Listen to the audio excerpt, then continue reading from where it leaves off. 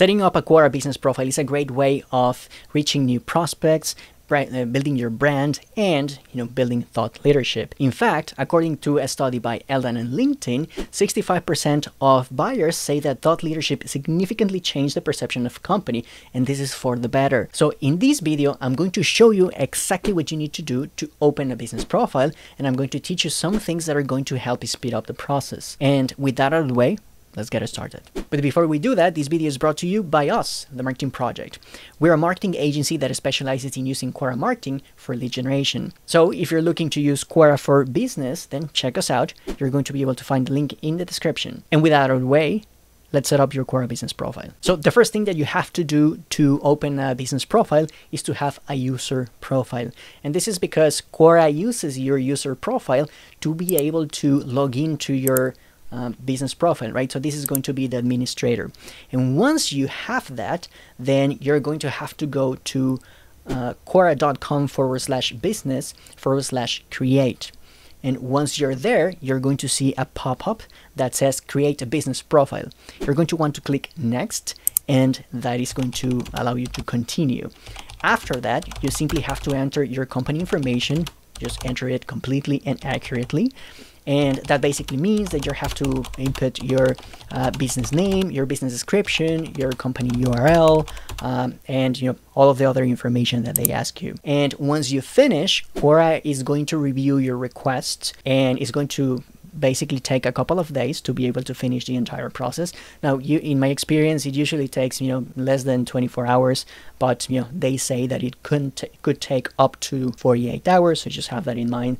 And if they need further information, then they are going to contact you and let you know what they need. And that's pretty much it. That's all you have to do to open a business profile.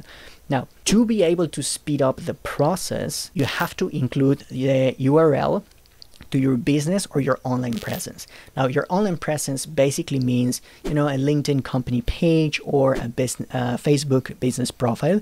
And this is just so Quora can quickly uh, check that your company is legit and that you know you already have a, a, form of presence online and this is going to help speed up the process now the second thing that you have to do or that ideally you would do is to include your official logo and a business description this is just so they know what your business is all about and it doesn't infringe on their policies and that you are able to actually uh, open a profile without any problems.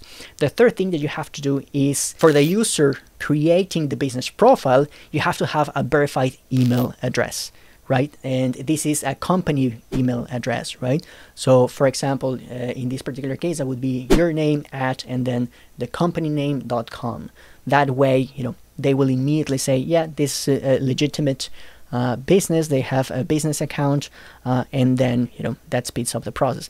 Now, your profile is not going to be able to write any answers right on Quora until your business profile is approved. So if your profile is approved but you're still not able to write uh, answers, what you have to do is contact Quora at business-help at Quora.com uh, with your business pro uh, profile URL and you have to let them know what the problem is and they're going to take care of the problem for you. Their support team is actually, uh, actually pretty good. They reply within 24 hours in most cases uh, but honestly like, like the longest that it's actually taken for them to reply to me it was like three days.